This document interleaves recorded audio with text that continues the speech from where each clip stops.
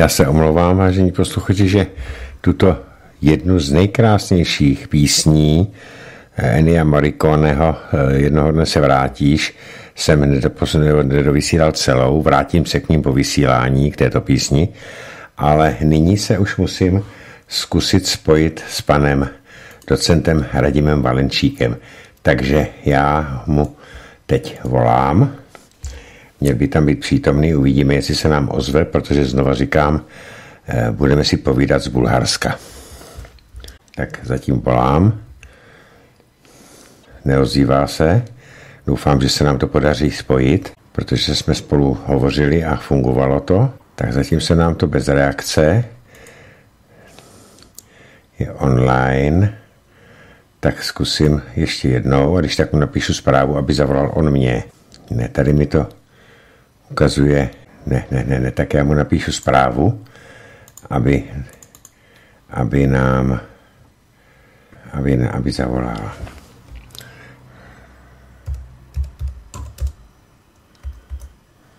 Halo, halo, slyšíme se? Slyším. Tak výborně, tak se nám to podařilo. Halo, slyším. A slyšíš mě? Já tě, nebo slyšíte mě, pane docente, já vás slyším dobře. Já taky slyším velmi dobře. Takže výborně, takže já vás tady vítám opět po čase eh, ve studiu Beta Svobodného rádia a už jsem posluchačům eh, upozornil, že si povídáme z Bulharska, tak jenom doufám, že tam máte krásné počasí a moře, že je pořád ještě slané. Moře je slaný a počasí, já nevím, jestli, když je to krásně, jestli všichni netoužíme po nějaký změně. Tak eh, toho vedra už bylo až trochu příliš, tak uvidíme, jestli se to změní. Eh, já bych se chtěl jenom zeptat, abychom se vrátili k tomu tématu, eh, na váš názor, na, řekl bych skoro až, až na váš názor na ty tři mrtvé vojáky v tom Afganistánu, protože jsme se o tom ještě nebavili společně, a jak se díváte na Eh, to, že, to, že byli označeni za hrdiny. Já osobně nevím, proč by měli být hrdinové, když bojovali za zájmy někoho jiného a ne, ne za zájmy České republiky, protože s Afganistánem nejsme ani ve válečném stavu, aby ani nás nějak neohrozuje, tak by mě zajímal váš názor na to, pane docente. Tak to má víc aspektu. Já bych nespochybňoval to, že oni kromě těch peněz, které jsou vždycky příjemné, tak tam si uvěřili tomu, že tam plní nějakou pozitivní misi. Tak to je první věc. Oni byli přesvědčeni, že plní asi nějakou pozitivní misi, eh, byla tam patrně i tato motivace a eh, teď je otázka, jestli eh, to angažování se toho takzvaného mezinárodního společenství v podstatě Spojených států, které tam donutili jít přes vydíratelné reprezentace politické, tak tam donutili jít vojáky z řady dalších zemí, jestli je to rozumné řešení, jestli je to to, co potřebuje svěda, nebo jestli je to uh, akce, která od počátku byla odsouzena uh, k, uh, k, k prohře v podstatě, tak to je další otázka. Ale ono to má ještě další aspekty. Povídejte. No, mě, mě to napadlo, když jsem si vzpomněl, co mě vykládá tatínek, protože on jako frekventant, to byli ti, co byli v podstatě obětováni, neskušení, vojáci po dvouměsíční přípravce, když byli nasazeni proti ostříleným benderovcům, tak eh, měli velitel, který se dopustil hrubý pak našel, že je to potvrzeno i některými eh, seriózně zpracovanými materiály, když v počtu 18 nedostatek zbrojené a naprosto bez zkušeností a dostali tam do pas aby utrpěli těžké ztráty, měli tam 6 mrtvých Chtěl by potom Nějak na... poměrně Já se domnívám, co jsem mohl čet, i názory analytiků, kteří to zpětně hodnotili, tak ta akce, kterou ti naši vojáci realizovali, tak byla naprosto nezodpovědná, bylo to hrubé velitelské pochybení, bylo to nepřiměřené riziko a hlavně nebyl žádný smysl té, té akce.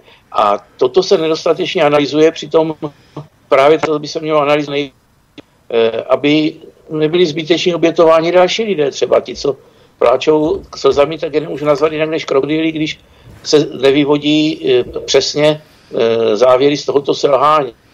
Já si myslím, že taková ta silná slova generálu některých o tom, jak teďka se popstíme všem talibánům, tak jednak je to úplná hloupost a jednak je, že tím chtějí zamaskovat vlastní selhání, protože to nebylo selhání jedné, ale více osob, které by se chtěli zavděčit eh, Američanům, tak prostě byla naprosto ne a špatná po všech stránkách. Eh, za, nám nějak nám to chvílema vypadává. Eh, zkusíme to udělat, že já se vypnu a zavolejte mi, jestli to nebude lepší, ano?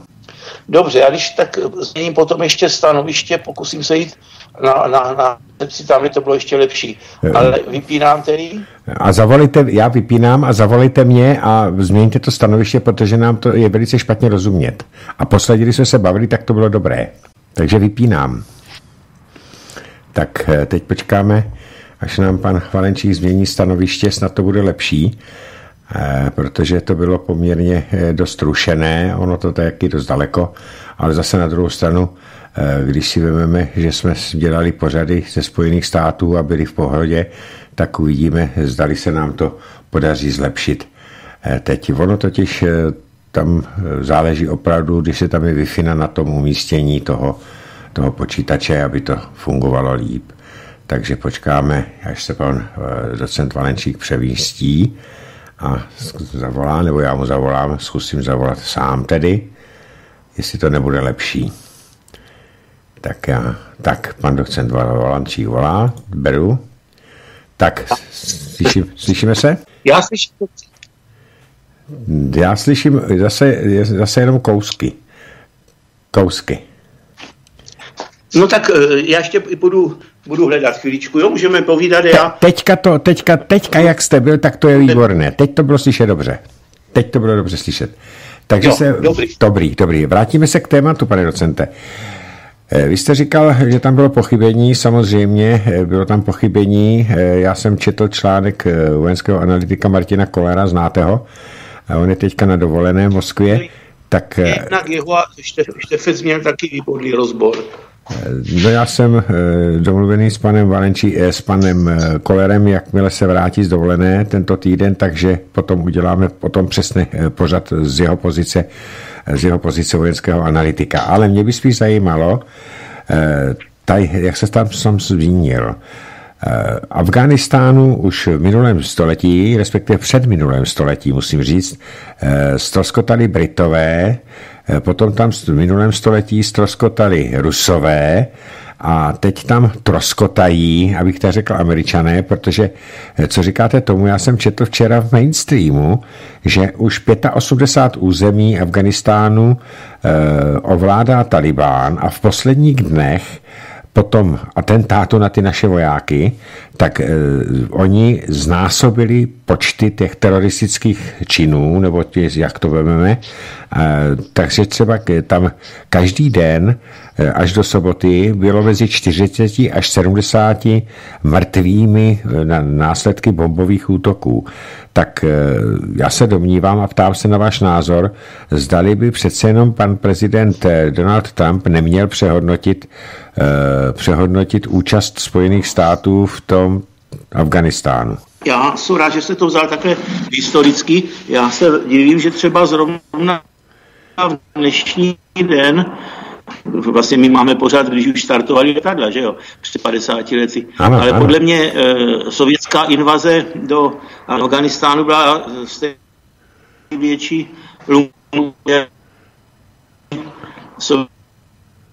se rok 68 zprava zleva, nebo zprava, ale připomíne další adrese, kterou by v současné době stálo za to připomenout a kde se nesmírně hloupá, která už byla definitivním, definitivním hřebičkem eh, do, do rakve toho sovětského režimu. Vrátíme se k tomu 68. Eh, roku právě, protože dneska máme 20. to znamená, že eh, už toho 20. v podstatě to začalo jak se díváte na vůbec na celý 68. rok? To by mě teda taky zajímalo, protože všichni, kdo jsme to zažívali v dospělém věku na vlastní kůži, tak jsme to neskutečně odsuzovali, nenáviděli jsme všechno, co bylo spojeného s Ruskem, včetně mě.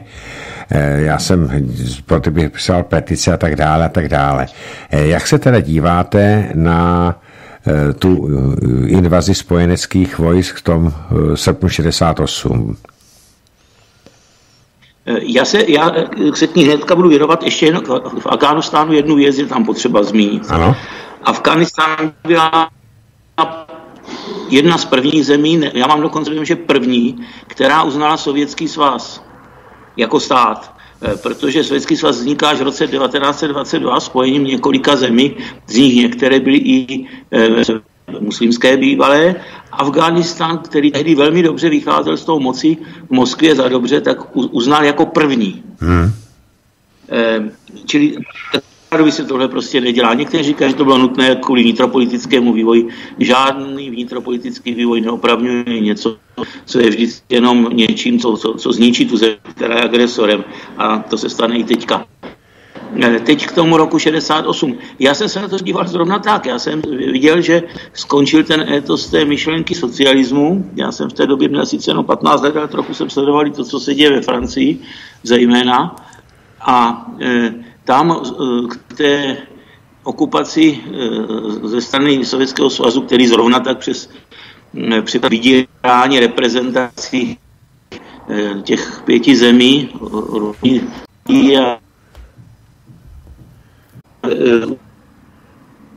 Vypadává to. Stále to, vypa, stále to začalo to, začalo to dobře a teď to zase vypadává. Eh, nevím, čím to, čím to může být, jestli to je nějaký rušený signál, eh, takže mm, zkuste se ještě přemístit, jestli by to nebude, nebude lepší. Já budu takhle popochazet mě někdy naskakuje víc těch čáreček, někdy míň. Teď sedím na schodech tady, naštěstí ten hotel je poměrně klidný, tak tady by to mohlo fungovat. Funguje. Jak to slyšíte? Je to slyšet dobře, ale občas vypadáváte jako. Občas to tak jako úplně budou vypadne. Si něco budou se domyslet. No. Budou si muset něco domyslet. Tím, ano, ano, tak pokračujte, prosím. Tak, e, položil jste nějakou otázku? Já jsem jenom, se, eh, naposledy jsme se bavili právě o tom 68. roce a vy jste to srovnával s Francií. Ano, 68. rok byl revolučním rokem nejenom e, u nás, e, pražským jarem, ale byly sociální bouře i ve Francii a v, po celé Evropě de facto. E, takže já jsem vnímal, a to se ptám, jak vy jste říkal, že jste to vnímal obdobně, ale eh, teďka bych mě zajímalo, jak s odstupem těch let se na tu, eh, na tu okupaci těch spojeneckých vojsk, především Rusů, eh, díváte. A teď se zase špatně slyším já. A přitom mám všechny čárečky. No. Takže znova opakuju. Jak se s odstupem let díváte na okupaci spojeneckých vojsk dneska? 68. No já jsem to vždycky považoval za tragédii a že tím v podstatě se strašně zkomplikovala náprava toho budování socialismu a v podstatě pak došlo k situaci, že už ten proces návratu na tu trajektorii toho budování socialismu byl nemožný. Ten systém se začal rozkládat a byl to přímý důsledek eh, okupace. Ano, a co potom následovalo ta, ta, ta, ta leta normalizace? Jak se díváte na leta normalizace? Oni byli eh, svým způsobem... Eh, no tak já považuji leta normalizace za přímý důsledek okupace. Já jsem si původně myslel, byl jsem naivní, mě bylo taky 15 let, že to, že tady jsou cizí vojska, tak vůbec nic neznamená, že si dál pojedeme po svém, budeme budovat ten lepší socialismus, ten bez partokracie, ten který opravdu vychází z, od lidí. A ukázalo se, že prostě e, ta politika je propojená s tou vojenskou i okupační moci v tomto případě tak, že e, se nedalo ustát to. A potom selhali některé osobnosti, je připomínáno i to Dubčekovo selhání, které také nepochybně bylo. Samozřejmě to bylo také selhání a navíc já jsem byl o něco starší a vnímal jsem to taky velice, velice intenzivně a nejvíc mě zarazilo potom, že to byl právě Aleksandr Dubček, který podepisoval všechny protilidové a protinárodní zákony, které mu nadiktovali právě Sověti. Takže jsem z něj byl už tehdy zklamán. No všechny ne, ale ten, ten takzvaně Pendrekový, ano, a některý ještě další. No, ten jeho odpor už byl potom, byl potom slabý, no. Ale já si nedohodu, bych nechtěl být jeho kůži, ono se to soudí zvenku snadno. On svoji roli sehrál a ta situace už ho vyřadila z vlastně z toho vývoje. V současné době se eh, dokonce začalo hovořit o tehdejším prezidentovi eh, Ludiku Svobodovi jako o vlasti zrádci a o kolaborantovi. Eh, jak se díváte na roli prezidenta republiky Ludvíka Svoboda v, Svobody v této době? No tak on nepochybně chtěl zabránit nějakým velkým tragédiím a šel tu cestu, kterou on považoval za mm, optimální té Moskvě jednal dostatečně tvrdě, odmítl odjet bez eh, Krígla třeba, že ano, ano, ano. Eh, po, po, sám se domníval, že se mu podaří patrně uchovat ten kurz na ty pozitivní změny i za přítomnost sovětských okupačních vojsk. Eh, já myslím, že jednal pod touto motivací.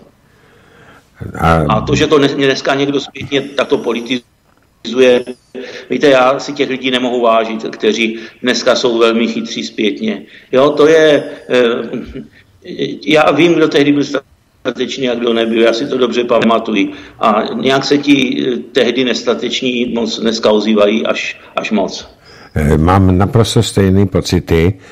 Já třeba vím o tom, správně se zmínil, že František Krieger byl jediný z našich představitelů vládních, kteří, který odmítl podepsat legalizaci a legitimizaci eh, obsazení republiky eh, těmi pěti armádami. Nakonec tady zbyly jenom ty, ty ruské a on to odmítl i přesto, že mu bylo vyhrožováno smrtí a právě prezident Ludvík Svoboda, který tam přilétl ze své vůle, on tam nebyl unesený jako ty ostatní, tak uh, tvrdil, že se bez Františka Krígla vracet nebude. Takže uh, máme na to asi stejný názor. A eh, další taková věc, jak se díváte na působení Vladimíra Milináře, nebo Zdeňka, Zdeňka Milináře? Stejně to přeskokčilo na, na působení koho? Zdeňka Mlináře, protože eh, Zdeněk Mlinář byl člověk eh, pražského jara, byl to člověk jakoby v pozadí, ale byl to člověk, který měl neskutečně zajímavé informace a popsali ve své knize, tak eh, by mě zajímal názor na Zdeňka Mlináře, váš názor.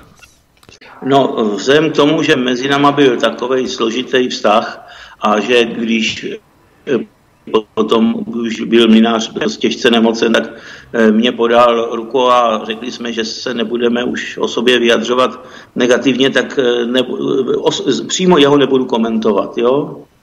Dobře, jasně, to je tam osobní vztah. Ro, rozhodně patřil mezi jedny z nejinteligentnějších lidí v té době, takhle to řeknu, abych o něm řekl něco, něco dobrýho. Uh, ono se, jasně, nebudu se vyjadřovat, já mám k němu řadu nějakých poznámek, ale Nebudu se k tomu nebudu, nebudu to eh, kást na stůl, protože bych nechtěl, abych se, se vyjadřoval o člověku, se kterým jste měl eh, osobní vztahy. Eh, zeptám se jinak. Já jsem byl překvapen, když jsem si už v 68. roce zjišťoval v různých archivech materiály z 50. let, tak jsem byl docela zaražen, když jsem už tehdy zjistil, že se Josef Smrkovský docela významně podílel na kauze Slánský. Eh, jak, to, jak, jak, jak na něj pohlížíte, na Josefa Smrkovského, teď vy? Říkám s odstupem těch let. Eh, to můžu říct úplně klidně. Eh, mě i při mé mladistvé nerozvážnosti nebo neskušenosti, tak Smrkovský, já jsem ty jeho projevy poslouchal já jsem z nich měl už tehdy rozpačitý pocit. To byla snaha zalíbit se za každou cenu. Já si teďka pamatuju, když on vyšel při těch jednáních v Bratislavě na balkón a nechal skandovat, ať je sovětský vás třeba. To, si, to, to prostě slyším z rádia, jako by to bylo včera. A pro mě byl takovou nej nejkontroverznější postavou. Já jsem na typ jeho žvásty prostě nenaletěl, ale zrovna včera jsem se díval na Pelíšišky a tam je přece ta scéna, když mluví z rádia, z rádia Smrkovský a Kodet se tam rozčilí a říká, teď jsou to ty samý lidi, že jo. Ano. Tak Smrkovský nevím pro mě a s tím nemám žádný závazek, s tím nemám žádný intimní kontakt ani do zároby, tam můžu říct ten svůj názor natvrdo. Eh, Mlinář je nepochybně eh, komplikovanější osoba, rozhodně Mlinář i inteligenci byl o mnoho, o, o, o řád výš než oni. Já jsem právě úplně zjistil, že to byl právě Josef Smrkovský, kdo na cestě z Prahy do Kladna rozhazoval popel Rudolfa Slánského, aby ani popel nemohl být mm, sezbírán a pohřben.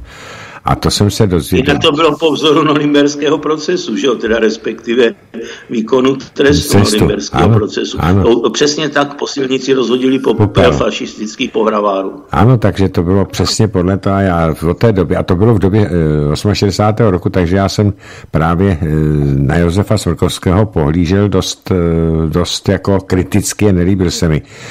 Na druhou stranu jsem poměrně akceptoval eh, vystupování Oldřicha Černíka. Eh, to byl, já jsem ho poznal potom také, když vedl ten svaz obcí a měst, protože mě vždycky zajímaly ty problémy samozprávy, tak tam jsem se dostal s ním i do osobního styku. On byl vždycky poměrně rozšafný člověk, eh, eh, byl to muž kompromisu, eh, věřil v socialismus a sehrál tu svoji roli tak, jak nejlépe uměl, myslím si, že bez větších selhání. A teď se zeptám na takovou opravdu hm, otázku hm, na tělo. Domníváte se, pane docente, že eh, kdyby eh, Pražské jaro nepřerušil sovětský srpen, tak že bychom rozvíjeli něco v tom smyslu, co se dělo po listopadu 89, protože já už jsem četl nějaké materiály o zahraničních investorech, o investičních fondech už tehdy.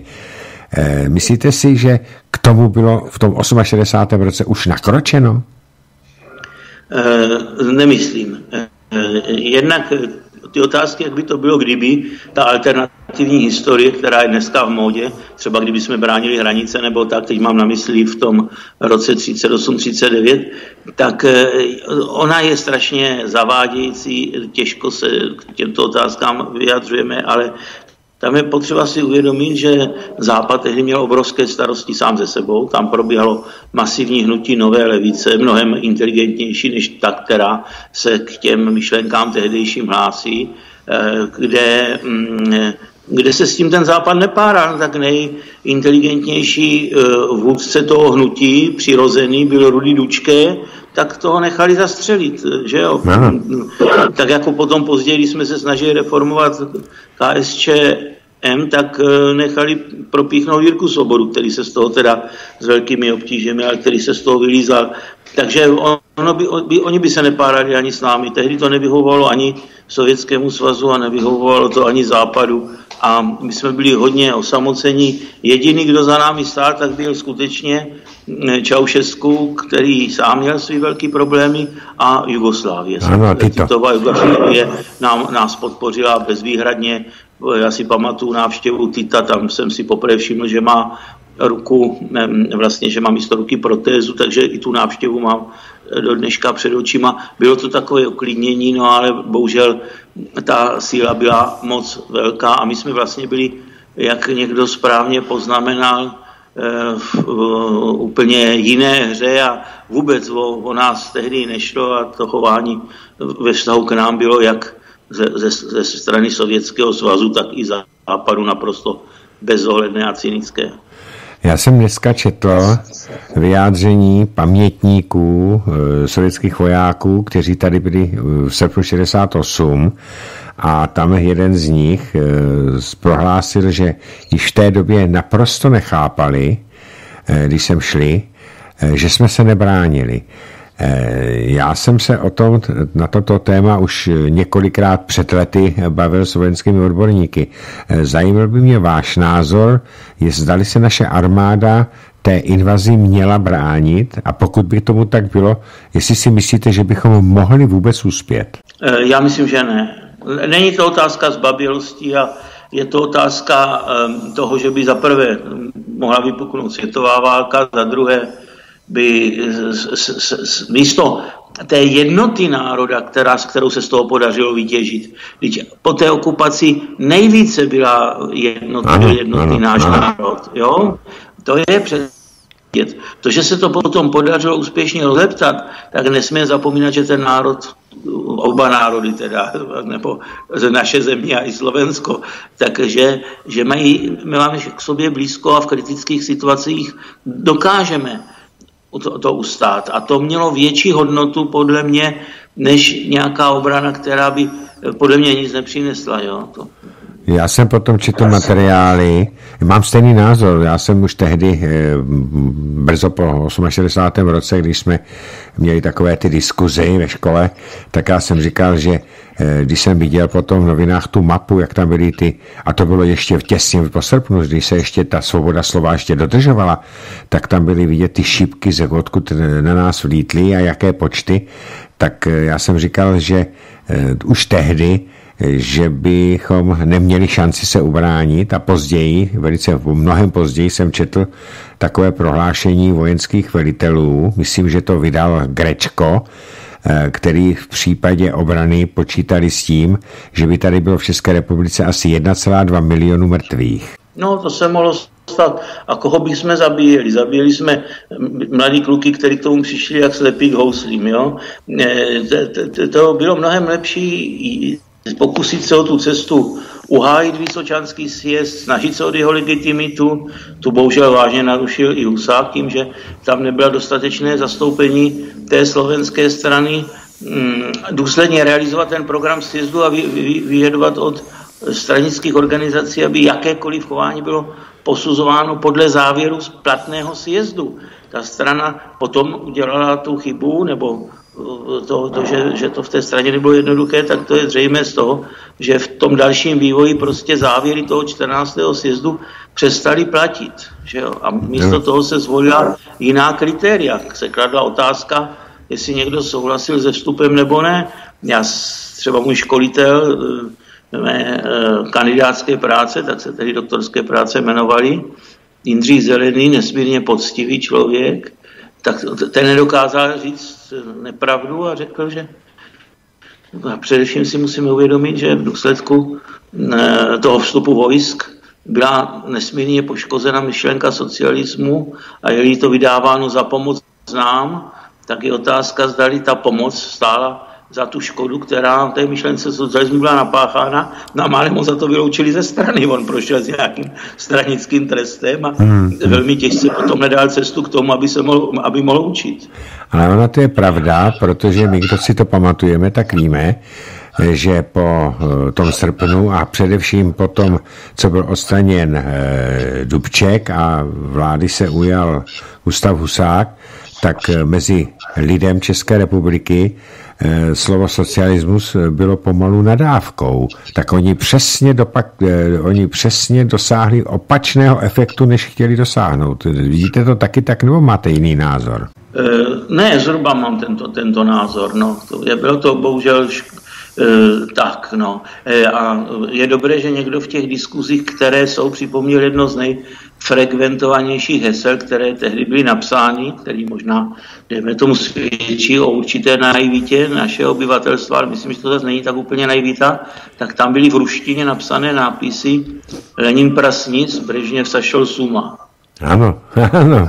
Lenine, probuď se, se, Lenine, probuď se, Brežněv se zbláznil. Ano, já, to já samo se vypovídá, jak ta myšlenka tady byla dost hluboce zakořeněna. Eh, dostali jsme se k osobě Gustava Husáka. Eh, Gustav Husák byl velice rozporuplný člověk. On, eh, já jsem si studoval jeho historii velice pečlivě a podrobně na všech možných dostupných materiálech, protože mě tato osoba zajímala.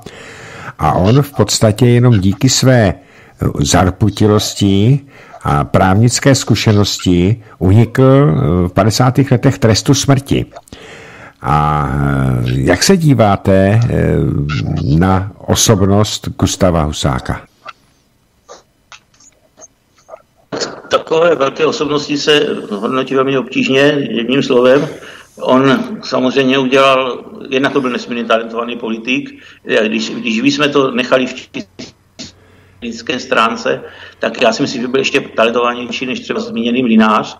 Hmm. Eh, navíc on byl generačně starší než celá ta parta těch kluků, ano. jako byl Mlinář, Bilák a tady všichni tíle, čili on, on měl tam obrovskou přirozenou autoritu, ale on už za slovenského národního postání udělal řadu řadu bod, jo, to je mimo jiné i v tom filmu napsaných podle jeho paměti, kde Plevza dělal Eh, eh, poradce odborného, tak tam je to v podstatě velmi hezky i ukázáno, že i on dělal velký chyby během slovenského národního povstání. A mm, pak se hrál tu skvělou partii po návratu z vězení. E, to vězení přežil, do, do teďka se historiografové nemohou shodnout na to, jak je to možné, protože všichni, co byli mučeni tak jako on, tak na něm zkoušeli LSD, ho nechávali v chladu dlouhou dobu ve sklepích, v těch, v těch kolodějích a podobné věci. Nenechali ho spát. To, to, že ho mlátili, a tak dále, tak to byl už jenom detail. A on to vydržel. Tím vlastně všechny zachránil, protože oni nemohli jeho přiznání využít jako součást obžaloby a ta obžaloba tak stála na vodě, že prostě díky tomu zachránil i Laco Novomeského no. a, a, a řadu dalších tak z tohoto lízka zajímavá postava.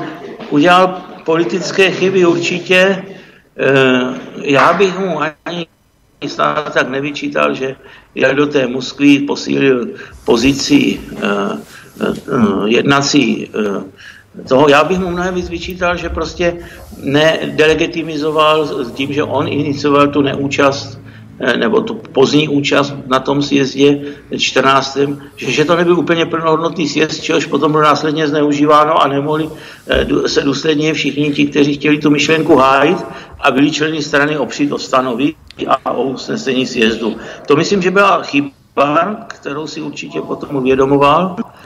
A potom dalšího velká chyba bylo, že už bylo v závěru jeho života a politické kariéry, že eh, podle mě On se strašně bál, že nastoupí Dubček a tam musely být osobní věci a e, některé kroky, které činil, tak byly dělány proto, aby nastoupil. A, a ty dějiny se propadly, ten vývoj se propadl mnohem hlouběji, než musel, což nás stálo dokumentace a technické dokumentace řady firm a e, připravilo to každého z nás o, o hodně peněz, tak i za to podle mě trošku může mm, mě poslal některé své paměti Eh, Rudolf Hegenbart, který sleduje všechno, co se děje z Vysočiny, není na tom zdravotně nejlépe, ale vyjadřuje se takovému užšímu kruhu lidí, který to zajímá, já mezi ně určitě patřím taky, a říká, že když většina těch rozumných lidí chtěli, aby vrátili do hry Štrougala, který krátce předtím byl v podstatě odstaven, že jo, v mhm. tom boji s Bilakem, aby, aby Štrougal hrál toho Bagrationa, aby on konzolidoval tu, tu pozici po prohrané bitvě, že jo. Tak to osobně Husák zarazil. Místo toho prošel Kája Urbánek, neboli zpěvný Kája, no a to byla tragédie, to už no, no. každý, kdo trochu sledoval, o co jde, tak bylo jasný, že ten propad bude, bude obrovský. To byl člověk, který nedorostl na mnohem nižší formát politiky. Já si zase pamatuju do dneška, když vystoupil v televizi, kam ani nechtěl jít a ho museli násilím dovést a ještě jsme na standardu nějaký prášky. A on vystoupil a řekl tam jedinou věc, říkal, soudruzi a soudružky občané, situace je vážná, velmi vážná, ale víc z toho víc ze sebe nedostal. No. Eh, zrovna když jste mluvil o té chybě Gustava Husáka, že se bál Dubčeka, a tak jste jmenoval eh, to jméno a ono nám vypadlo. Tak jestli byste mohl eh, ho pojmenovat ještě jednou vy. Že Rudolf Hebart ne, ne, ne, ne, ne, že chyba Husák, Husák, že udělal chybu, Eh, že se bál nástupu jo, Dubčeka. Že, že, že, že nepodpořil Štrougala. A že nepodpořil Štrougala. čas a považovalo to za samozřejmé, tak počítal s tím, že e, jako Tiona, jo, jako mistra e, ústupových bojů po prohrané bitvě, takže tam dají Štrougala a místo toho e, tam přišel Urbánek, čímž to vzalo jako ten, ten, ten, ten rozkladný ten rozkladný proces. Já vím, že jsou v naší zemi lidé, kteří řeknou, a dobře tak, a čím hůř, tak tím líp. To jsou tak, takový naivkové, ale někdy jsou to i lidé nesmírně zlí. Eh, každá politická síla v systému, kde, který je založen na konkurenci politických síl, tak čím opadne, tak tím sebou strává ty ostatní. Čím víc sparchantí, tak tím víc sparchantí ty ostatní. Proto se radovat z toho, že nějaká politická síla je, dopadá špatně, to není dobře, to, to svědčí o nezdravém chápání politiky. Eh, teď se vrátíme, nebo ne, vrátíme, posuneme v čase a eh, jsme v 89. roce, eh, kdy Husák v podstatě dobrovolně, bez jakéhokoliv velkého nátlaku, opustil tu svoji pozici, veškerou odpovědnost hodil na pana Adamce, no a ten samozřejmě už musel potvrdit v podstatě vůči sílu Václava Havla. Tak jak se díváte na tenhle ten moment? Já si myslím, že Adam zdaleka nebyl tak skvělý politik, jak se mu připisovalo. Já jsem měl možnost dosledovat z bezprostřední blízkosti, když jsem dělal poradce Jirky Svobody a Eh, on byl hodně samolivý a, a dost ideově prázdný. Eh, nezapomínejte, že on po celou dobu dvou let, a to byl přijímán zákon o zákazu KSČM od toho roku 90 do roku 92, ani jednou nevystoupil v parlamentu, přestože měl mandát. On byl zvolen největším počtem preferenčních hmm. hlasů ze všech politických stran, ze všech politiků v tom 30 členem eh, federálním zhromaždění a přestože ho někteří doslova prosili, aby vystoupil, tak mlčel. Já hmm. jsem potom, eh, to byla jedna z největších lumpáren, co jsem snad provedl, ale mě to nedalo, když jsme sledovali ty výsledky v tom roce 92, v kanceláři u Jirky Svobody, bylo nás tam asi 20, byl tam dnes už mrtvý Pepík Mečel, byl tam i Adamec, byl tam no, Jarda Ortman, který občas vystupuje v televizi, tehdy byl předsedou, předsedou klubu českých, českého parlamentu. A někteří místopředsedové strany a tajemník strany, tak to byla taková poměrně silná stava. Teďka najednou ty hlasy naskákaly až na 14%. My jsme počítali s nejoptimističtějším 12%, jakože zvrátíme ten, ten propad, protože předtím to bylo něco přes 10, tak jsme chtěli aspoň symbolicky mm, tu, mm, tu, tu pozici uhájit a my jsme měli přes 14%. A někdo tam řekl, no teď teda, a co s tím uděláme, když máme tolik hlasů? A mě teďka napadla myšlenka, kterou jsem už sobě nedokázal potlačit, vím, že se to nedělá, říkám, no to je přece jasný. Vystoupí Láďa Adamec v parlamentu, teď oni se na mě vyvalili oči, jako, za prvé, že jsou domluvený s ním a za druhý, jak bych donutil Adamce vystoupit, když celou dobu mlčel. Já říkám, no, on je z toho Ostravska, tak on do, do vystoupení má připravený už ve verších. Jak ve verších. Některým, některým už to došlo, že jo. Eh, Jirkovi třeba ten byl jako to, a já říkám, jak ve verších. No tak když jsem říkal, z Ostravska, tak on vystoupí a řekne, dva roky v parlamentu mlčel jsem, kdo nám ty dva roky vrátí. A on mě potom neměl rád. Teda, jako. Jasný. A, tak vidíte, pane eh, docente, eh, i v tom 92. roce, kdy tady bylo všeobecné pohrdání komunistickou stranou, kdy byl přijat zákon o zrušení eh, toho, paragrafu o vůči síle eh, komunistické strany jako vůči, vůči strany, eh, tak přesto získali eh, tehdy KSČ, to bylo ještě, eh, tak získalo 14%. A podívejte se dnes, eh, tedy v loni, tak eh, ten propad, ten byl oproti tomu roku 92, když tady už úplně jiná politická situace, tak byl daleko horší o polovičku, méně procent než tehdy. Eh, neznačí, a to je moje otázka, eh, neznamená to, že současné vedení KSČM totálně, ale totálně zklamalo i všechny levicové voliče, že se od nich odklonili? No, prostě je to dáno kvalitou vedení strany a předtím ta strana může utéct. Jestli chce přežít, tak musí dále problémy řešit. To už jsme se o tom bavili, to a jenom mě to tak napadlo, že i v tom 90. roce měli 14% a e, vím to, že e, těchto těch 7,5% to je historicky nejmenší, e, nejnižší výsledek od samého vzniku roce 1921. Teď bych se chtěl ještě vrátit. Já ještě k tomuto. Ano. KSČM i sociální demokracie jsou programové strany. Oni bez toho, aby věděli, co je příčinou problému a jak je řešit, nemohou existovat. Jestli mají vedení, eh, které eh, za to, aby mohlo pozici a, a příjem z výkonu politiky, tak obětuje to hledání, to, aby přitahovali k té straně nejchytřejší lidi, ale naopak je likviduje. Prostě ten Milan Razdorf byl uštván v podstatě k smrti i svou vlastní stranou, respektive vedením, a nebyl jediný, tak prostě takovéto strany nemají potom eh, šanci si zajistit budoucnost. No a tak, jak vidíme, jak působí teďka eh, sociální demokracie, tak já se taky domnívám, že tu budoucnost nemá tato strana, protože tady všeobecné mínění obyvatelstva je proti přijetí eura. Mnoho ekonomů varuje, říká, že euro jako měna je rozkolísané, že spousta států si už tajně tiskne své vlastní eh, měny. A podívejme se, pan Hamáček prohlásil, že je naprosto zřejmé, že se musí dělat všechny kroky k tomu, abychom euro přijali. Tak eh, tady vidíme to směřování pana Hamáčka a celé ČSSD.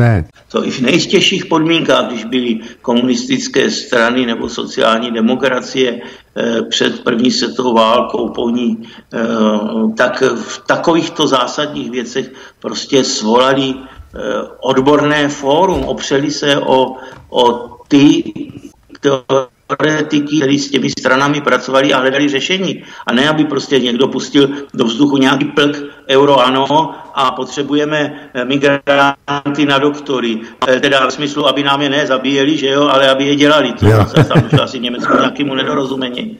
Eh, to jsou věci, které se musí poctivě vydiskutovat a uh, mě někdo napsal v reakci na nějaký článek, přece nechceš od politiku, aby byli chytřejší než Marx, no to nechci, ale aby u nich, aby, aby v té politice mohli fungovat lidé, kteří třeba také nejsou Marxem, ale přece jenom mají nějaký intelektuální rozměr a něco ve svém odboru dokázali.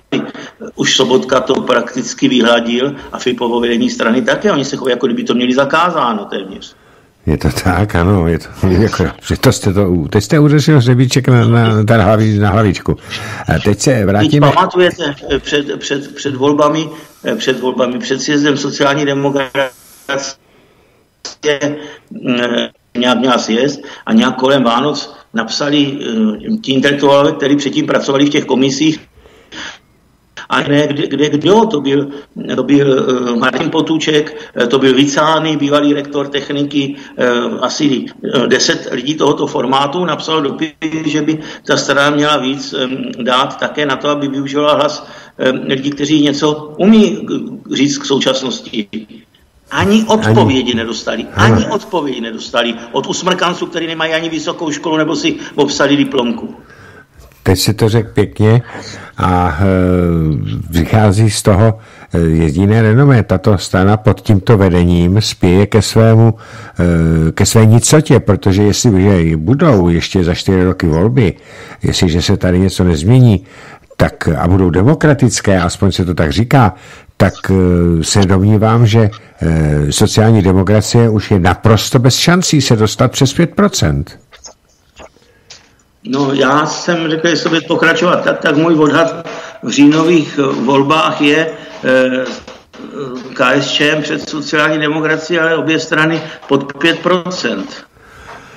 Uvidíme, já se to... To je otázka přežití stran. Ano, ano, já jsem taky říkal... No, mě, mě někteří obvinují, někteří sociální demokracie nebo s KSČM obvinují, že se snažím těm, ty strany poškodit což, ne, což neobviní kteří se snaží křísit mrtvoly, tedy už, už podstatná část jejich elektorátu už dneska považuje tyto strany za mrtvé, s tím já se nechci smířit. A když si teda křísím slovy řečeno těch, co mě napadají z druhé strany, některý ty lidi také znáte, co tady tohle o mě říkají, tak eh, mě zase z té, z té strany říkají, že, že, že, že se strany, ty strany poškodí. No ne, já se snažím říct, za jakých podmínek ta strana může přežít. Nic víc se nesnažím. My se teda snažíme o to, abychom říkali pravdu taky. Eh, mnohdy eh, se můžeme mílit, samozřejmě, ale je naprosto jasné, že jestliže si obě ty své ty, ty strany, ty, ty levicové, a já tvrdím opakovaně tady v rádiu, že naše levice má místo v parlamentu, že tam, tam měla být levice, ale Pane docente, je současná sociální demokracie a KSČM ještě vůbec levice? No, teď to zase začalo nějak zlobit, jsem neslyšel. Já se ptám, ještě... jestli současná KSČM a e, sociální demokracie je ještě vůbec levice, protože se domnívám, že správná levicová strana má své nezadatelné místo v Českém parlamentu. Určitě, ale ona musí být, ale viceprezident může všechno koupit, tak musí být i programovou stranou. No. A e, to, to je hlavní handicap těchto stran. A je to vůbec e, ještě levice? Já si myslím, že dneska ty pojmy jsou tak eh, zneurčitěný, že tam je takový chaos, že bych, eh, eh, museli bychom se začít bavit na otázku, byla by to zajímavá otázka, co je levice a pravice. Aha. Já se domnívám, že, že, že levice je politická strana nebo hnutí, které se snaží odstranit ta společnost, společenská privilegia, ty formy společenské nerovnosti, eh, které se přežily a eh, které umožňují eh, části obyvatelstva, které těmito výhodami disponuje, je zneužívat proti těm, kteří je nemají. Asi takhle bych to definoval v obecné rovině. Z tohoto hlediska, když ta strana nemá programově jasné, no tak nemůže být ani levicí. Ona si může tu nálepku dát, může chtít být, ale prostě neví, jak to má udělat. A e, za pravici e, považuji ty strany, které se snaží prokázat, že některá ta privilegia jsou společensky prospěšná, že pokud by došlo k jejich odstranění, tak by to mohlo mít závažné společenské důsledky. To je konzervativní pravice, to je kvalifikovaná pochopitelně. To, je, to, to, to byli lidé, kteří byli třeba jako, minule jsme o něm také hovořili, vzpomenete si Tomáš Haas. Ano, ano, ano, ano. Konzervativní pravicový politik, jeden z lidí, který četl a e, vůbec si nemyslel, že když mě v něčem poučí, takže jsem utrpěl nějakou újmu.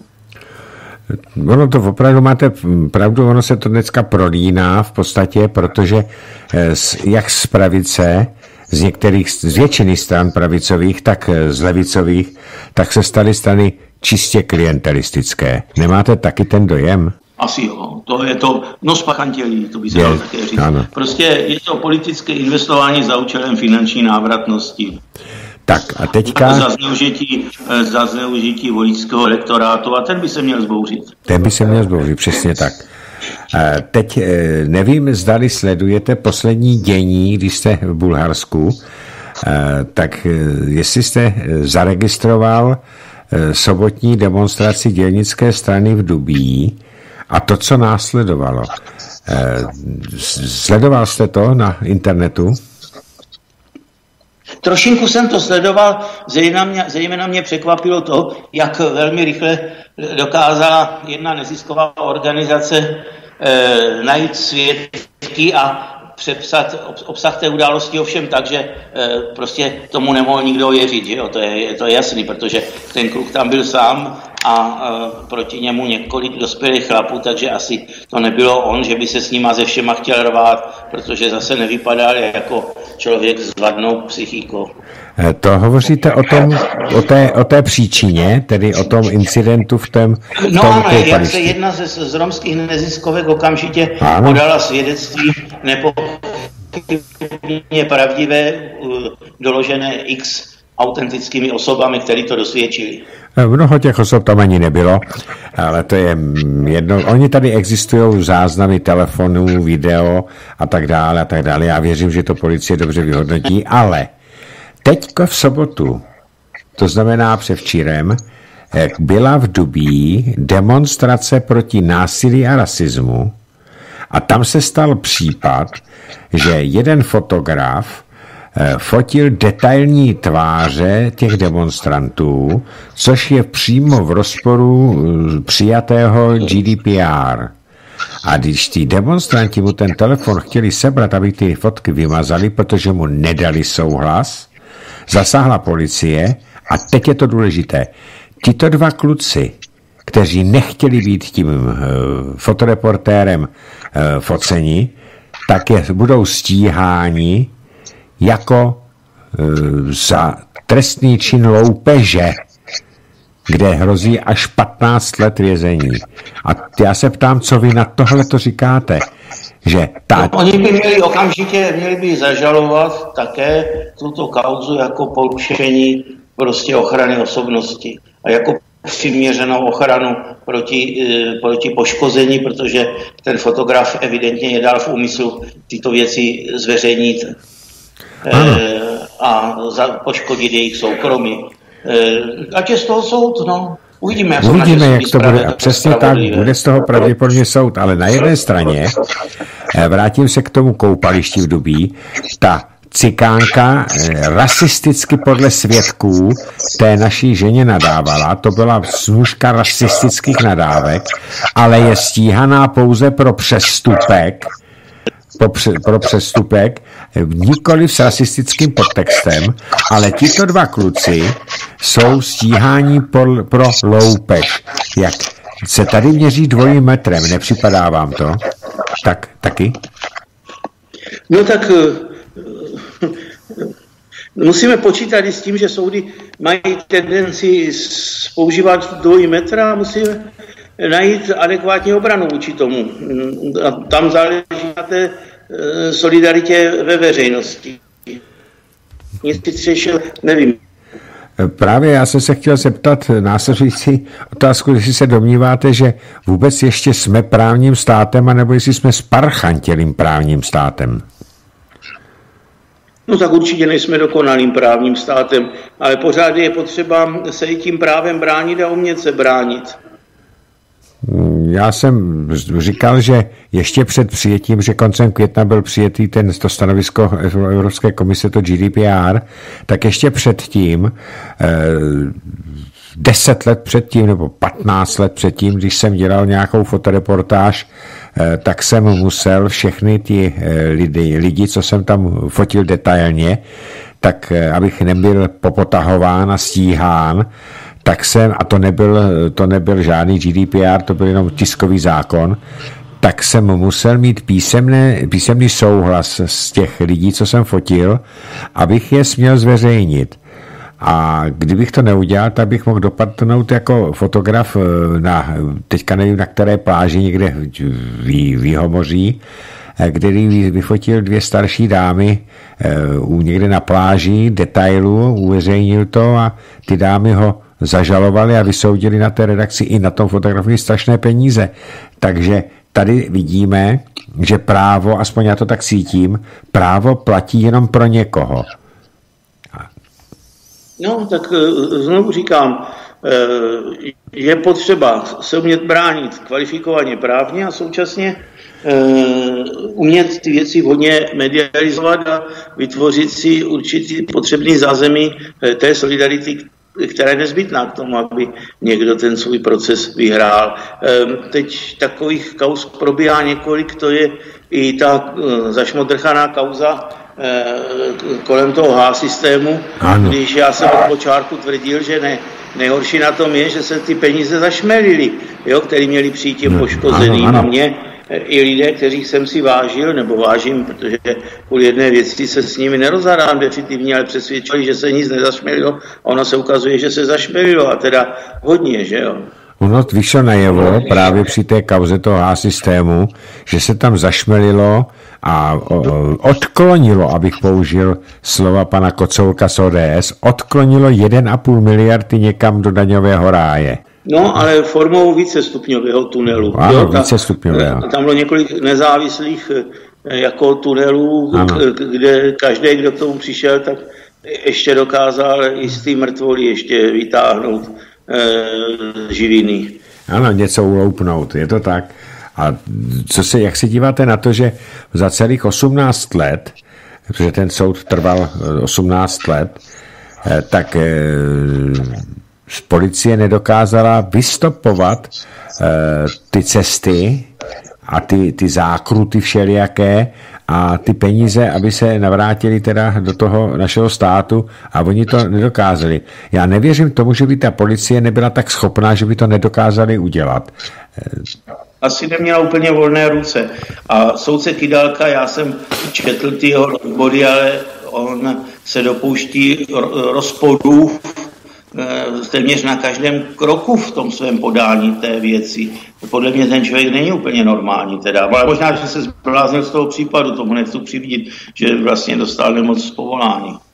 No mně to taky tak připadá a navíc eh, teď eh, držím palce tomu družstvu Svatopluk, které se obrací na ústavní soud, aby zrušil tu neodkladnost vystěhování z těch bytů, Eh, protože se vůbec nedivím těm starším lidem, který ten pán řekl, že se z toho baráčku nehne, zaplatil si ho třikrát a že jestli ho někdo od tuď bude chtít dostat, tak jde nohama napřed. Tak eh, já věřím, že u toho ústavního soudu uspějí.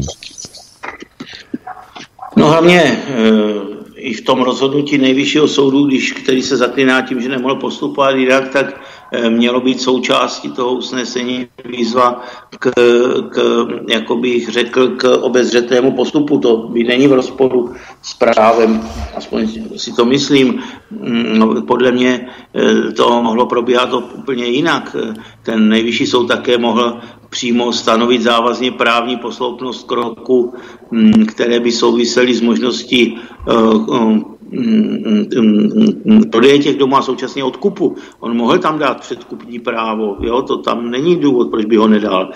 Ale někdo chtěl prostě, byl tak nenažraný, že chtěl ještě ten zbytek těch domků ještě na něm se hojit. No, no právě, právě. Eh, zeptám se poslední, poslední otázku před přestávkou. Eh, domníváte se, že se tady u nás v České republice dožijeme, že soudy budou opravdu soudit eh, spravedlivě a podle zákonů a ne podle různě ohýbaných paragrafů, jak se tomu často děje? Je to nezbytná součást nápravy. Bez kvalitního soudnictví nemůže existovat žádný systém. A myslíte, myslíte si, že se toho dosáhne a jak? Já, mám, já jsem skeptický. No, ale to půjde všechno spolu vzájemně. E, to je zrovna tak, jako, že je potřeba e, dosáhnout zásadní nápravy už v základním školství až po vysokoškolské, po vysoké školství. Tam všude je potřeba zásadně ozdravění, ale proto já říkám, že je potřeba mít realistickou perspektivní vizi, protože pak se všechno daří, když, když víme, odkud kam jdeme a, a, a drží nás to pohromadě. Jasný, jasný. Eh, pane docente, máme 20. hodinu. Eh, dáme si teď čtvrt hodinky eh, pauzu na nějaké napití, občerstvení, pustíme si mezi tím písničky a ve čtvrt na devět se opět ozvu a e, vy, vážení posluchači, budete psát e, panu docentu Valenčíkovi dotazy na e, buď zavolat, poštět na 9 přímo do vysílání, nebo SMSky na telefonní číslo 731 720 756. Známe to číslo Studia Beta. Takže, pane docente, teď si poslechněte nějaký pěkný písničky. Jo, výborně, já doufám, že počítač odpočine. Odpočine, tak. Skype. Dobrý, takže zatím na 4 hodinky na schle. Zatím. Tak máme po přestávce. A já se znova pokusím zavolat pana docenta Valenčíka. Uvidíme, jestli se nám to podaří. Tak, pan docent Valenčík, slyšíme se? No, slyším. Tak ještě jednou, pane docente, dobrý večer. Máme po přestávce. A já bych, eh, ještě než dáme prostor posluchačům, tak eh, bych chtěl probrat jed, ještě jednu takovou záležitost, kterou, která by mě zajímal váš názor. A eh, to je, jak si myslíte, nebo jak by měla postupovat eh, česká vláda v otázce přijímání migrantů. Proč se ptám? Protože ministerstvo vnitra ještě zachovance, a teď za Hamáčka to potvrdilo, chce vytvářet ve všech velkých bývalých krajských městech integrační centra pro migranty na náklady státu. A mě by zajímal váš názor, jestli to vůbec máme nějakým způsobem se snažit zablokovat. No já tam nerozumím pořád jedné věci, tak jako mě nikdo nevysvětlil pořádně, eh, proč eh, ty lodě je nevracejí, když už je zachrání tam, odkud vyplovali, tak zrovna tak nerozumím té věci, proč by se říká, jak jsou lidé pracovití a jak jsou posilou, tak proč by se měli, eh, proč by to nemělo být řešeno tak, aby mm, byli od, okamžitě zapojovány do, do práce, aby, aby si na sebe ty prostředky vydělali. A no. tady bych je podpořil. Tady bych myslel, že tady v tomto smyslu by ta pomoc byla... No ale ono to právě, ono to právě, tohle to nefunguje. No ale proč nám říkají, že nechceme ekonomický e, imigranty, rozumějí lidi, kteří tady hledají práci za každou cenu, chcou pracovat, tak ty nechceme. A bereme ty, kteří sem přicházejí s jakým úkolem, kde je několik indicí e, svědčících o tom, že oni sem nemusí přicházet s dobrými úmysly. Eh, já jsem nedávno... A jsem... teroristickou jednotku také se nepustíme jenom tak, že? To přesně tak. Jasný. Eh, teď si představte, eh, že včera jsme v komentovaných zprávách Sony Zikmundové, tak včera Sonja Zikmundová četla informaci o tom, že islámský stát, ještě když nebyl úplně poražen, tak on ještě v Idlíbu se zase soustředuje, ale tak zajal jednu iráckou jezítku a dost dlouho ji tam držel, zajetí, mučil a několikrát několika lidmi denně znásilňovali. Pak se jí podařilo utéci a dostala se jako uprchlice do Evropy a představte si, že v Německu se potkala s člověkem, který ji tam mučil a znásilňoval, to znamená islámský džihadista, který v Německu měl normální klasický statut uprchlíka a bral o něch 850 euro e, podpory sociální. Tak jak se díváte na tohle tu skutečnost? No tak já si myslím, že to je prostě jeden z typických příkladu doby, že tady se hraje o čas. Eh, eh, ten západ si dlouho žil v, ve svobodnomyslné demokracii, netušil, že eh, přijde takováto brutální manipulativní moc.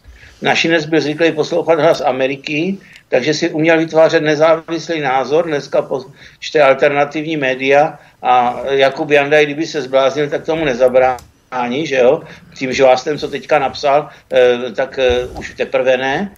A ten západ se taky probouzí. Problém, teď, problém, eh, že se hraje o čas, aby toho, co destruovat celou Evropu, západní, západní Evropu, čili celou Unii, tak aby ten, ten potenciál byl velký, aby se tomu normální lidi, až jim to dojde, nemohli bránit. Proto ty, ty kruhy ve Spojených státech, které tam mají faktickou moc, kde Trump tam zoufale drží za každou cenu Frau Merkel. Ano. Eh, proto se eh, udělají ty teátry s těmi loďmi, protože se hraje o čas. Přesně tak. Eh, další dotaz, který by mě v té souvislosti zajímal váš názor. Mnoho našich nebo několik našich hostů tvrdí, že v podstatě myšlenka spojené Evropy byla dobrá, ale to, co se z toho stalo teď, takže je naprosto nepřijatelné a že je potřeba to z gruntu reformovat tak, o to se snaží taková ta národní frakce, tedy třeba Marine Le Pen ve Francii, Matteo Salvini v Itálii, Tomio Okamura tady u nás, Viktor Orbán v Maďarsku, eh, Kačinský v Polsku, Eh, třeba i, ale i Kurz v Rakousku, tak oni se snaží to, tu Evropskou unii reformovat na bázi eh, spojenectví národních států. To znamená, eh, že by ty státy mezi sebou volně, bez, bez sla obchodovali, byl by volný pohyb zboží, volný pohyb peněz, volný pohyb osob, ale Evropská unie by nemohla mít nadřazený zákony jednotlivým národním státům. Jak byste se díval na takovou Evropu? No, mně to je velmi sympatická myšlenka, musím jenom upozornit na to, že právě takto vypukla ve Spojených státech občanská válka, že tady na základě tohoto požadavku konfederace, která říká, že ten proces integrace pro, pro, pro, pro, a teď nám to začalo hrozně moc vyskakovat. Hrozně moc to zlobí. Slyšíme se? No to k tomu dojde. E, tam ve chvíli... E, Nebo, pane docente, nemohl byste zase změnit trochu prostor, protože z vás vůbec neslyšíme. Slyšíme půl slova, pak to vypadne. Je velmi velký restart, jo? to není jenom chce, budou se muset i Eh, tvorby reprezentace. To nebude jenom, že vyměníme nějakých pár pohlavárů, ne. Bude eh, vyměnit ten systém generování těch reprezentací tak, aby byl funkční. To znamená, ve všech těch jednotlivých státech je to bezvitné, ano, vyměnit, vyměnit to, eh, to schnilé, co nám teďka ve, v evropských státech vládne. Je to tak? Ano, ale já si to stavu třeba tak, že eh, některé země se dostanou do velkých problémů, třeba Francie svoji neprozřetelnou politiku, patrně Německo se dostane do velkých problémů. A mm, se říká, na frontu je teďka ten středoevropský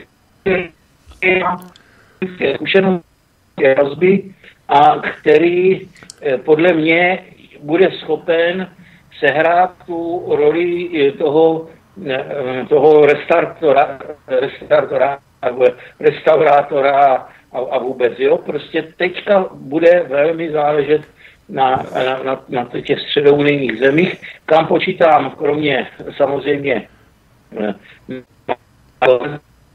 eh, tak třeba je takové země, jako je Slovinsko, ale třeba tam může velmi významnou roli sehrát i Bavorsko nebo Sasko.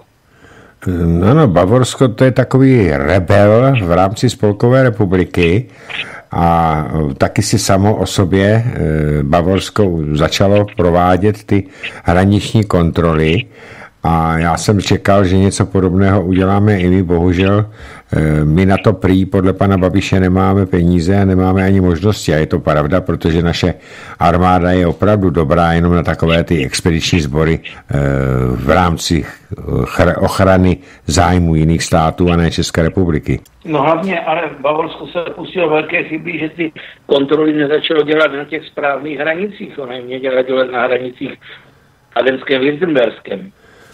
No, tak oni tvrdí, že eh, od nás chodí eh, velké množství těch migrantů směr z Rakouska do Německa.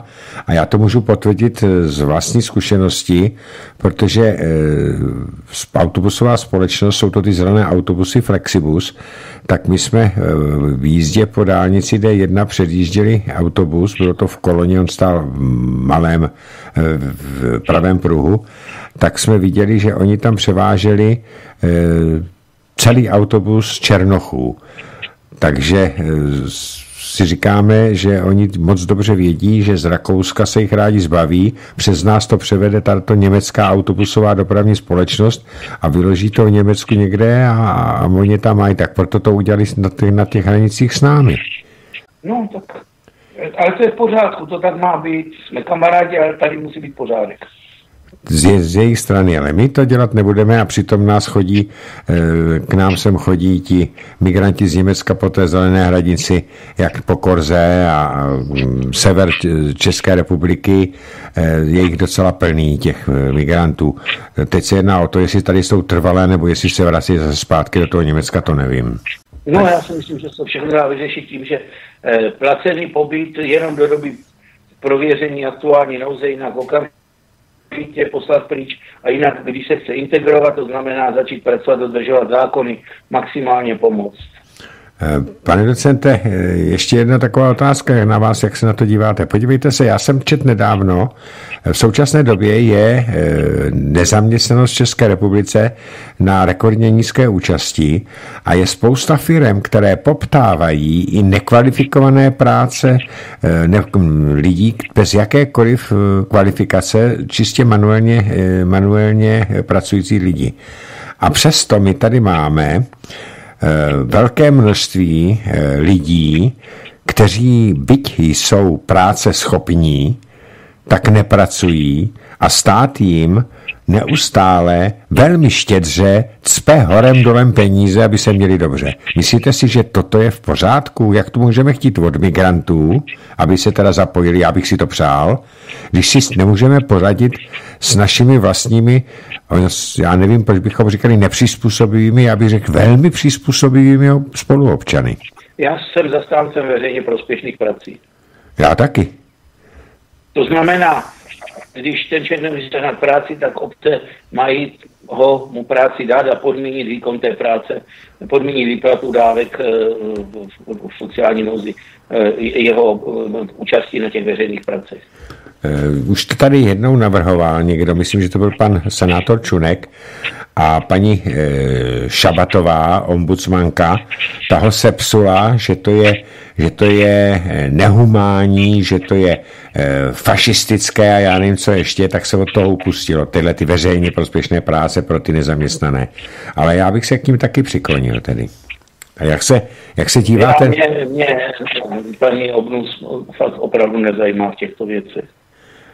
Já jsem se chtěl zeptat, jak se na ní díváte. Oni, ona se nedokázala systémově zastat lidi, kteří žijou ve stanovu materiální nouze a překrývá to péče má o různé vyloučené menšiny, eh, vyloučené dobrovolně až exhibicionistickými postoji. Já to, to považuji za perverzní. Překrývání základního problému, že jsou tady bohatí, ti se oddělují od těch chudých a ti chudí e, nemají možnost vytvořit podmínky třeba dostatečné ani pro své děti, aby měli šanci se dostat ke kvalitnímu studiu, tak to, když paní Muzálka nevidí, tak to je prostě, k tomu nemám co dodat.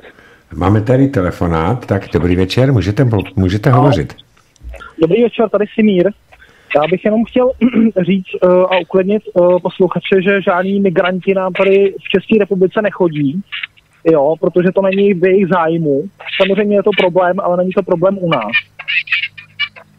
Jo. Tak pane Simíre, já vás zastavím. Já vás zastavím. Říkáte lež. Hm? Čeští v Česku je migrantů na 40 tisíc. To, to je lež, prosím vás. To je, to je, to je eh, mainstreamová lež. Běžte se podívat, běžte se podívat do Hřenska, běžte se podívat do Ústí nad Labem, běžte se podívat eh, v noci na Václavák. Vy si myslíte, že ty, ty Arabové a ty Černoši, kteří tam chodí, že jsou všichni studenti nebo turisti? Prosím vás, no. eh, já nemám rád, když nám eh, lidi tvrdí takovéto nesmysly. Mějte se hezky na shledanou. No. Tak eh, to už je druhý, druhý sluníčkář, který nám eh, sem volá. A já se obávám, pane docente, že nám podobné útoky eh, těch sluníčkářů budou, se budou množit. Oni věří, že tady je 12 migrantů. Co by se tomu řekl? Jsi říkal 12 tisíc. Ne, 12. Podle oficiálních zpráv našeho ministerstva vnitra máme 12 migrantů, kteří dostali azyl. Prý. Fakt je, když jsem odlétal z letiště, teďka uh, jsem musel stávat o půl třetí ráno, letadlo mě letělo v 5.20, tak poprvé jsem viděl uh, migranty ne, neupravené v počtu několika desítek, jak se tam povalovali uh, v, ne ve vnitřních prostorách, ale před letištěm. To jsem viděl poprvé, ale to mohlo být prostě jednorázový nějaký, eh, nějaký jev. Eh, u nás přece jenom je to úplně jiné, než když je člověk i třeba ve Vídni. To jako na vlastní oči ten rozdíl vidět. Eh, Ale nebylo by dobré, kdyby jsme se dostali do, do té těžké pozice, v jaké je dneska třeba Francie nebo Itálie. Eh, samozřejmě, ale máme, jen tady máme, já jsem dokonce, já teď mám telefonát, ale dokončím myšlenku. Eh, já jsem viděl video, které nám poslal náš posluchač z, z Moravy a jel po autě směrem od Vídně autem po nějaké okresní silnici a po dobu asi 15 minut nebo 12 minut eh, té jízdy tam šli samý migranti s batohama, samý mladí muži a on tam toho povídá, že to trvalo 12 minut jízdy a neustále tam chodili po té silnice. Tak ať nám tady ti sluníčkáři prostě vás netvrdí, eh, že tady jich máme 12, jo. Ať se podívají na mm, dílo pana eh, sociologa Hampla, tam to se to dočtou. Tak eh, teď eh, telefonát. Dobrý večer. Dobrý večer, tady Franta Kaprna. Zdravím, Franta. Koukám, že sluníčkáři dostali dneska výplatu, co? Aby ano, ano. A já se chci pana Valenčíka, kterého teda zdravím, zeptat, co říká na to, že po dvouměsíčním patu počítá ČSSD pro rezort zahraniční dál s Pochem. Pochem, ano. Slyšel jste? Eh, pan, eh, pan Franta Kabrna se ptal, co říkáte tomu, že po dvouměsíčním patu, jak to označil pan Hamáček, eh, sociální demokracie dál počítá jako ministr zahraničí pana Poche. Já jsem, když jsem se dneska přečetl, tak jsem říkal, kdo chce kam, pomožme mu tam. No. S, s tím se nedá nic dělat když si někdo myslí, že je takto nenahraditelný, tak eh, ta strana pohřbívá sebe. Naprosto. Franto, stačila tato odpověď? Stačila. Já mám ještě jeden dotaz. Povídejte. Nebo, co říká na to, že v Německu našli v lese velká africká klíšťata přenášející skvrnitý tyfus a krvácivé orečky. Klíště má být pětkrát větší než normální klíště. Jo, nejdřív tady píšou, že ho přinesli asi ptáci, ale pak píšou, že se přisají především na velká zvířata, například koně. Jejich hostitelem ale může být i člověk. No tak eh, já mě to taky samozřejmě tady tohle napadlo, protože nechci podezírat, že se mi někdo záměrně exportuje. Eh, doufám, že se v těch našich podmínkách nerozmnoží. No, já mám obavy, že se budou rozmnožovat. Kor teď. Teďka mluvíme o kom. O klíšťatech, protože klíšťata tyhle ty, ty africké mají rádi teplé počasí. A to tady je. Protože v současné, v současné době je tady u nás teplejší než v Chorvatsku. Tak Franto, máte ještě něco? Dobře, dobře, já děkuji za odpovědi, mějte se krásně. Naskle. Tak a já vám, pane docente, řeknu ještě jednu informaci, kterou máme od Moniky Pilony. Eh, v současné době se už ve dvou státech pozastavilo od, odběr dárcovství krve, eh, protože se v té krvi objevují, mm, objevují eh, nějaké látky, které sem byly dovlečeny a u, nás nemáme na to imunitu. Monika Pilony dneska uvedla, dneska to bylo, že uvedla, že s těmi migranty sem přišly eh, nemoce, pro které eh, nemáme my obrané látky, takže i v Itálii je pozastavený dárcovství krve, právě proto, aby těmto darovanou krví se to nepřenášelo. A navíc se zjistilo, že tyhle ty onemocnění původem africké přenášejí i komáři tady evropští. Takže eh, to, co valoval kdysi eh, pan doktor Holub ze Semil, že toto hrozí, tak se začíná naplňovat. Co na, co na to říkáte? Tak to při takovémto eh, migračním posunu vždycky v dějinách tomu docházelo. Tam já vždycky říkám hlavně pozor také na odlišnost vaginální mikroflory, protože to také, než na sebe sedne, tak to trvá několik generací. Mm-hmm. To tak je, no. A vždycky to znamená i velmi nebezpečné šíření určitých chorob, ale toto já bych bral jako to nejposlednější a nejmenší riziko. Tady jsou rizika opravdu eh, existenční eh, pro celou tu, tu evropskou pospolitost. Hm, samozřejmě. Mám tady dotaz se Já myslím, má tu brzo pokračovat pořád prosazování a ještě o pár stovek a ještě o pár tisíc migrantů, ještě nějakou cestou, ještě pod nějakou záminkou sem dostaneme, když už se dávno měla omluvit za to Will Schaffendas. Ano. Omluvila se už za to, slyšel někdo? No. Neslyšel jsem, nikdy jsem nic takového a nezaznamenal. Tak ať ta ženská prostě zbalí svý fidlátka, ať už se neplete do politiky, jak se jde věnovat svým zálibám, ale prostě eh, podle mě ona je vydíratelná, má za úkol destruovat Evropu. Já si to nedovedu jinak vysvětlit. Já si to tak představuju a říkám ještě navíc, že je někým sakra tvrdě řízena. Jo. A to nemyslím jako bezlím, já to konstatuju jako... Fakt. Fakt, který se prostě pozorovat vlastníma očima. Ano. E, tady mám e, dotaz k té demonstraci sobotní, jak jsme se o ní bavili, bavili a o, té, o, to, o, to, o tom incidentu s tím fotografem parlamentních listů Vítem Hasanem. Píše nám Milan. Zdravím vás a mám dotaz k té demonstraci. Neměli ti demonstranti požádat policii o zákrok vůči fotografovi a o zajištění důkazů? Takto šli proti trestnému činu dalším trestným činem.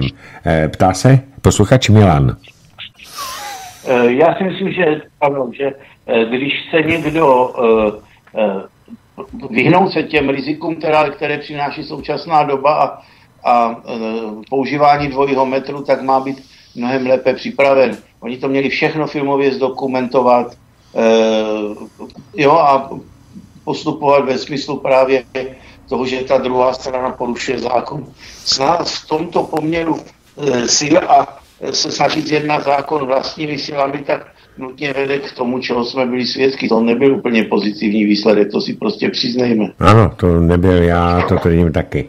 E, tady mám docela zajímavý dotaz. Dobrý večer, vážení pánové, to je vracení se k tomu 68. roku.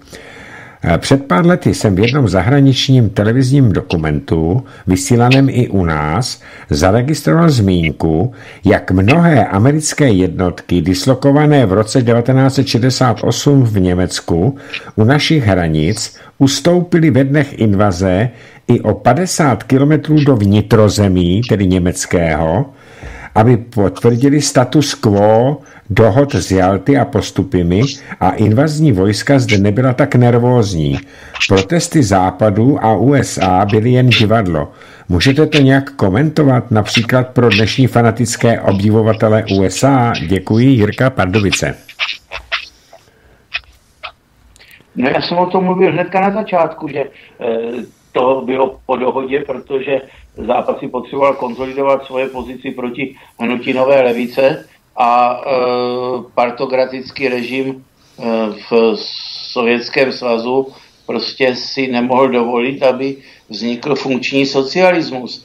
Tak e, to byl jeden z motivů. Druhý motiv byl patrně ten, e, který vždycky zmiňoval e, Tonda Novotný, když chodil potom do hospody už v pokročilém věku, vždycky říkal, za mě tady Rusové nebyli. A tím mě na mysli, že oni strašně chtěli tady mít rozmístěny zbraně. E, ta část generality prostě tím byla přímo posedlá. E, takže to mělo těch e, více motivů a my jsme se dostali do toho.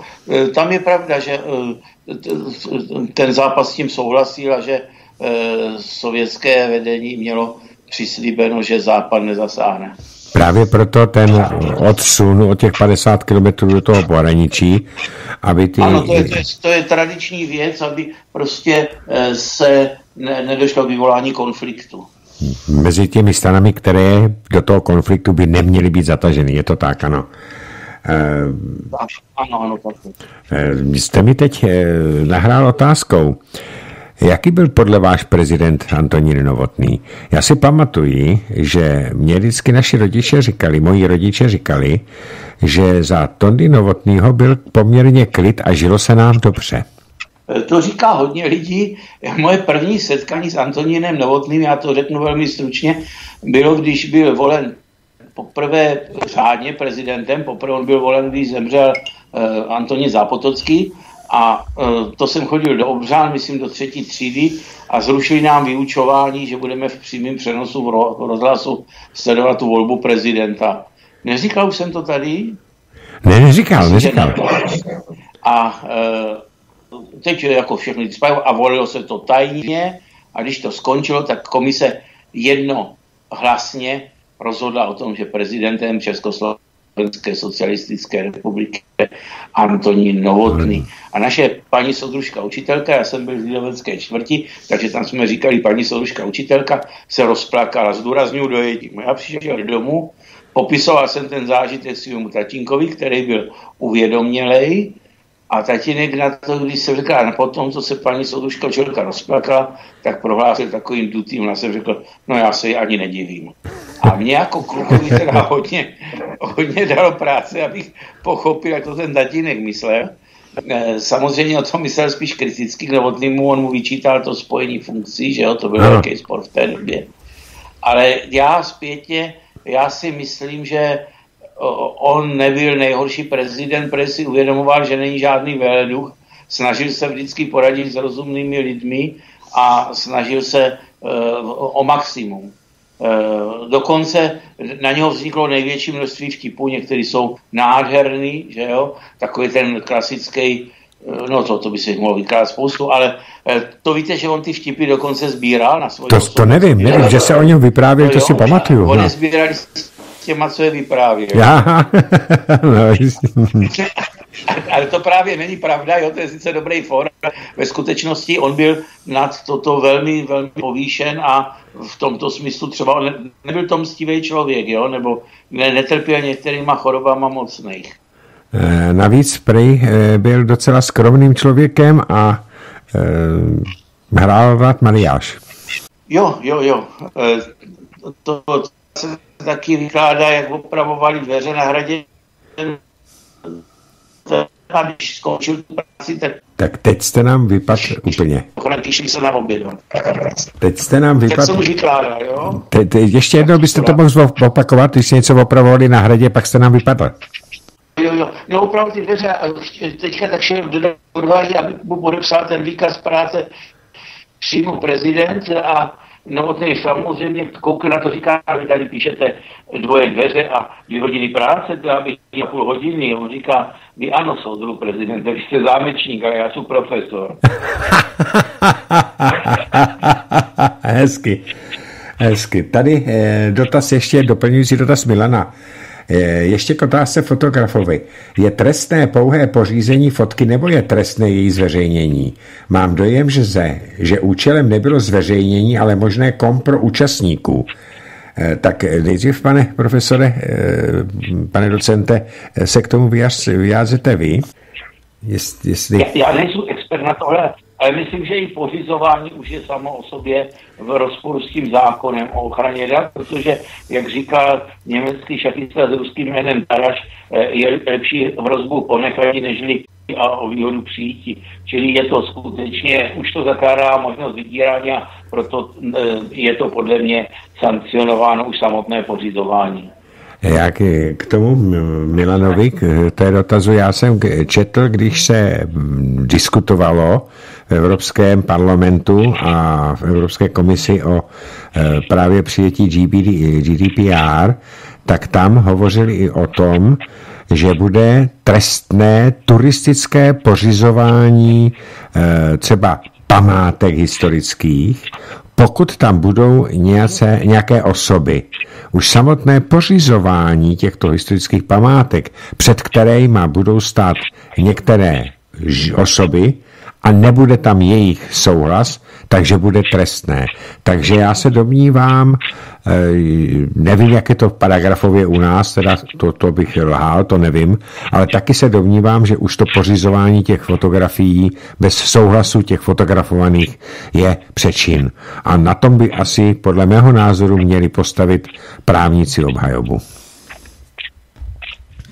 To určitě, ale hlavně je potřeba nejdřív dát žalobu, víte? Je potřeba paralelně zažalovat. Ano, je potřeba zažalovat, ano. A s dobrým právníkem, tak aby on sám třeba tu žalobu stál, nebo jo, prostě tam je potřeba postupovat ofenzivně a velmi rychle. Přesně tak, velmi rychle a sofistikovaně a tvrdě. Ano, je, máte pravdu, protože jinak by si s námi začali dělat, co chtěli. Eh, mám tady další telefonát, tak já ho vemu. Eh, dobrý večer, slyšíme se? No, dobrý večer. Tady je taky Milan, druhý. Já bych měl dotaz na zdravím eh, a na, na oba vás dva. Co říkáte na to, že eh, jsem četl dneska titulek v mainstreamu k výročí srpna promluví v české televizi slovenský prezident Kiska. To znamená česká televize, protože český prezident Zeman nechce mluvit, tak si vybrala slovenského prezidenta, o kterém bývalý ministr spravedlnosti Štefan Harabin říkal, že je to rychlá daňový podvodník, který nezaplatil 27 tisíc eur na daních, eh, že na to přišla uh, finanční zpráva, no ale protože to pak přiznal, tak to není trestný čin. Uh, prezident, po kterém chtěl, by, chtěl bývalý premiér Robert Fico zaplatit 789 tisíc eur, což je celých 21 milionů korun za to, že léta, le, letal často svým soukromým letadlem za rodinou do, popra, do Popradu a tak dále a tak dále. Takže, takže České televizi jsem e, tak, vybrala, myslím, podle teda toho správného člověka. Tak co na to říkáte? Dobře, poslouchejte, eh, vypněte telefon, aby to, a poslouchejte v rádiu, no. ano? Tak, pane docente. Já jsem, to, já jsem slyšel tu otázku, ona byla až moc rozvětvená. Eh, já se vyjádřím mnohem jednodušší. Eh, teď samozřejmě se bude kolem toho vystoupení Kisky dělat veliký show mediální.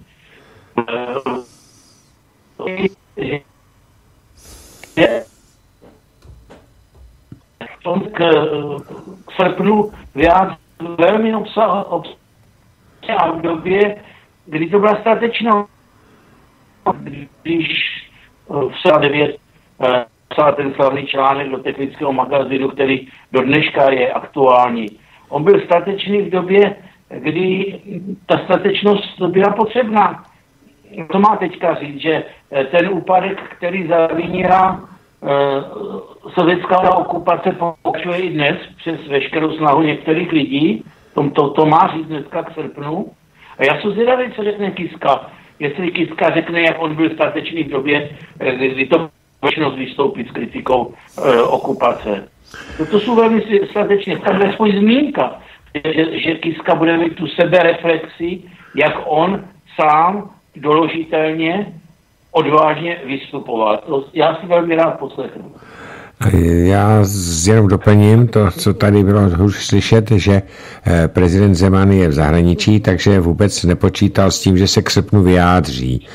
A stejně jako vy se domnívám, že zná většina Takhle, eh, většina lidí, kteří to chtějí vědět, tak vědí, jak se choval prezident Miloš Zeman. A ani se mu taky nedivím, že k tomu nechce vystupovat, eh, protože eh, za prvé teda srpen 68, to už je opravdu historie pro moje dcery a vnuky, to je něco jako pro mě 30-letá válka, taková historie, nebo ještě, ještě řekněme možná ještě první světová válka. A teď se k tomu ne, ne, nevyjadřuje. No a samozřejmě Kiska je prezident, který jasně, jasně stojí na straně promigračních činitelů Evropské unie, On by byl nejraději, kdyby nás, teda myslím Slovensko, ale i Českou republiku zaplavili stejně tak jako západní Evropu.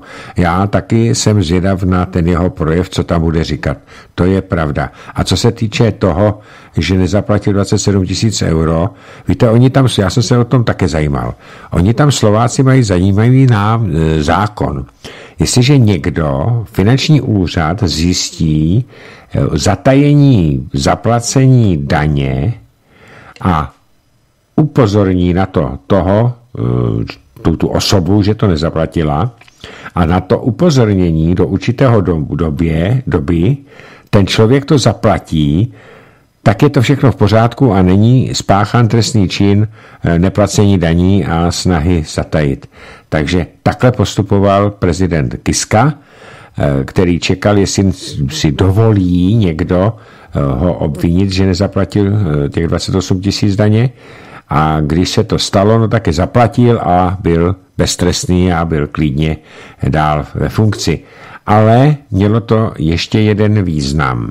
Prezident Kiska oznámil, že již nebude do druhého volebního období kandidovat.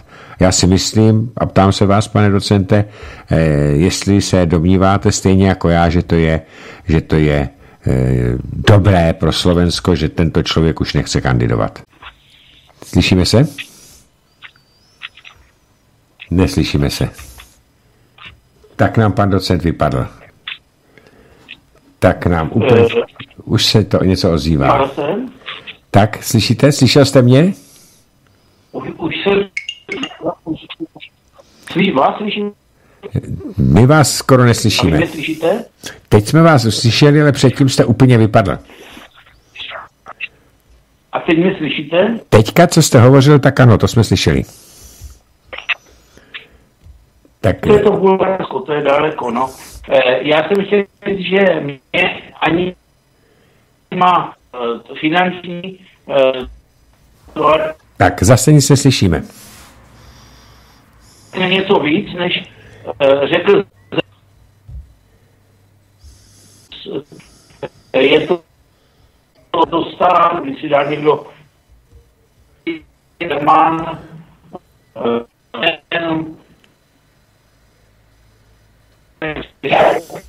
tak pane docente, my slyšíme teďka vždycky jenom útržek slova. Jenom útržek slova, ani jedno slovo není v celku. E, začalo to strašně zlobit.